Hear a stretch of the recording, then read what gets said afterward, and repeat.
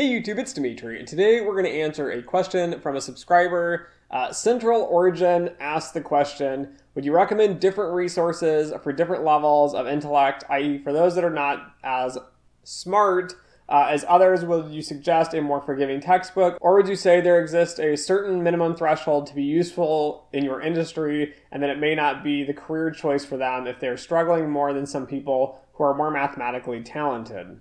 Okay, so to answer this question, I'm going to answer it kind of to the question and kind of in a different way. Um, so, one, I'm going to answer kind of the smartness level in textbooks and things. Um, I do think different textbooks teach things at different levels. Um, realistically, education is like a jawbreaker. Um, so, if you've seen a jawbreaker, right, it has like a core that's one color, and then there's like another layer around it, but it's a different color, and there's all these different layers that make up the jawbreaker typically when you go through like high school, you go through graduate school, undergrad, and all that stuff, right?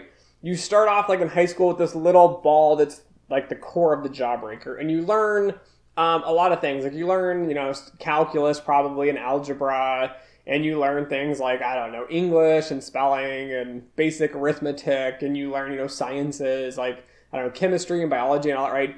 And that's each one of those can be viewed kind of like the first layer of a jawbreaker. And then when you go to like college, for example, and you get your bachelor's, um, if you've done biology, for example, in high school and you take biology in college, it's typically like now a little layer on the outside of the core. And then if you were to take, you know, a few more classes in undergrad, you add maybe a few more layers.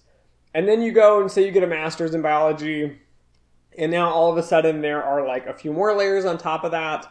And then you go and you get a PhD, in biology again, and then you add more layers. And realistically, that ball, say, is like 100 to 200 layers thick. By the time you get a PhD, you might be at like 10 layers, right? So you're not very far. Um, 10 layers, though, is pretty thick compared to somebody who has either no layers or just a core. And so a lot of times, I think people start checking things off, which really irritates me and it irritates a lot of people in like the academic communities and even in like very technical fields all over. So like sciences, you know, arts and everything, is that just because you learn, for example, like calculus, and then you go and you take like some more advanced calculus, like ODEs and PDEs, and you do some other things like that, like real analysis, and you start adding a little more to it, and then grad school you take stochastic calculus, and then you think like, oh, I've checked all these boxes, I've done all this stuff, I'm done, right? It's not really like that. There's all these extra layers of things that you can still learn that add more detail and more information. And you can make that basically that jawbreaker? You can make it thicker and thicker and thicker if you really spend the time on doing it. And I think this is where a lot of people, I don't know where the disconnect is, but you get a PhD, right? And a lot of you end up going to teach. And then you do a bunch of research. And as you're doing research, you're basically learning more and more and more and more about this topic and you're at the point a lot of times that you're adding new value to that field. So, you know, you, maybe you're doing some crazy topic that, you know, no one's really looked at before. Or maybe you're putting it in a new light or you're stretching it across, you know, different types of academic communities and you're, you know, tapping into different people and you're making your jawbreaker thicker and thicker and thicker. And realistically, by the time you're at the end of your career and you're old and retired as a professor, you have this really, really thick jawbreaker. Um, careers are the same way. And one big thing I do a lot of is, for example, time series. And when we work in quantitative finance, a lot of times we're kind of doing different topics. And this is true of every educational endeavor. Um, so you might have like 30 jawbreakers, for example, right? You have 30 different topics. You have like, I don't know, mathematics and statistics and, you know, computer programming in C and computer programming in MATLAB and computer programming in SAS and Java and Python. And then you have all these hobbies maybe on the side that interest you. So you have a bunch of different types of physics and you have all these other sciences, like you love geology. But in general, you have all these different jawbreakers, and all these different jawbreakers you need to add layers to. And a lot of times, more or less, you can think of like a spider web connecting all the jawbreakers because realistically, different layers of different jawbreakers are going to overlap with each other. And so, some mathematics that you learned in your pure mathematical theory class is going to apply to something that's learned in your statistics class, which is going to apply to something in your finance course, which applies to something in your economics course. And pretty soon you're tying all these things together and you're building this really big, massive cluster of jawbreakers. So to answer your question in general, I don't think it really matters how smart you are in a sense. I think anyone can do it if you put in the time and the effort and the desire. But I think the biggest mistake is people think like, I'm going to check all these minimum boxes, and when I do this, I'm going to be really good at something. What you don't realize is in the real world, there's people that actually like doing that, and you might not like it, but they love it. And so on their weekends and their free time, they're out there building these jawbreakers bigger and bigger because they're so excited. Where if you're doing the same thing and you're trying to build your jawbreaker on the same topics, it's going to be slower for you because you just don't enjoy it. And every weekend and every time after work, when you're grinding in trying to do this, it's going to be miserable and eventually you're going to give up, most likely. Or if not, you're going to live a pretty terrible life doing something you absolutely hate your entire life. So, yeah, I think you have to build things layer and layer. To add into the textbook comments now, yes, I think there are different textbooks at different layers. I think you have to start at the bottom and work your way up. But I don't think necessarily some textbooks are very good textbooks because I think a lot of academics write things as archaically and mathematical and complex as possible with the sole purpose of showing the world I am really great, I am really smart, um, but realistically, I can't teach and I can't explain this to anybody, and I'm very insecure. So I'm going to give you guys some examples here a little bit and show you some little flavors and kind of different aspects of, I guess, adding to the layers. Okay, so to start off with, this is my favorite textbook. A lot of you know this. I talk about this book constantly. It's statistical analysis of financial data in S+. There's an R version because R is the, you know, language that was built from S+. Um, but I love this book. This book covers a ton of different topics at a ton of different levels. Um, it covers some time series, just a little bit. So time series is going to be the jawbreaker we're building here. So realistically, you need basic stats to even get to this book. So I'd recommend you take like an intro stats class or you watch a bunch of stats videos, learn OLS and all that. And that might be more or less what you started with when you start with this book, which is another book that I usually recommend. And this is, you know, Introductory Econometrics, A Modern Approach, fifth edition. Doesn't really matter the edition, I don't think. Um, but it's by Jeffrey Wooldridge, who's actually a very well-known author, as well as the author on this book, who's Renee Carmona. But this book is going to teach you a lot of random things as well. This is going to focus more on like stats. So it's stats applied to econ. You do like OLS. You talk about, you know, all these assumptions. This book I think is really excellent in the fact that it builds a lot layer by layer within the book. This book is pretty thick. I think you could use this book for multiple classes and still be learning new stuff every time you take a new class um, on a different section of the book. But going back to the time series here, this will give you a lot of the base understanding of general stats. And then in the back of here in the blue section, this is like advanced topics, covers more on time series.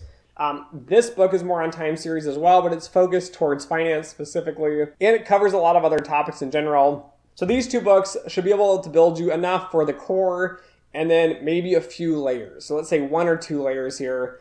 And then you might go on to other things. I think academic papers are one of the best resources. I know it sounds crazy to read academic papers, but when people reference like I'm using X method and like I think this and this and there's a website on it, whatever, I usually don't take you very seriously. I go in and I look up all the academic papers and I try to read them, and a lot of them will actually be clearly written in plain English um, that explain a lot of the material. But again, having these books will help you with the jargon. Um, it will get you to that level where well written papers at an advanced level are still easy to understand. Now, this book is a huge, thick book, and this book is on time series. Um, it's by Hamilton.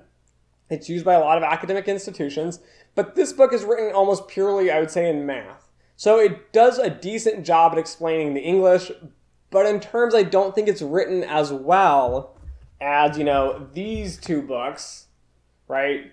But part of it is that the other two books are written for a lower level information and criteria. So when you start getting up to higher and higher books, a lot of times it's A, the material is challenging and it's hard to explain, but it was written very well. You just need all the inner layers of your jawbreaker. Or it can be that it was written so poorly and so archaically in an academic setting, it just doesn't make a lot of sense. And I'm going to let you in on a secret here. Most textbooks are written pretty terribly because most people writing them aren't those that are very good teachers. They're just looking to make extra money um, they're looking to advance their careers, and so they write pretty terrible textbooks.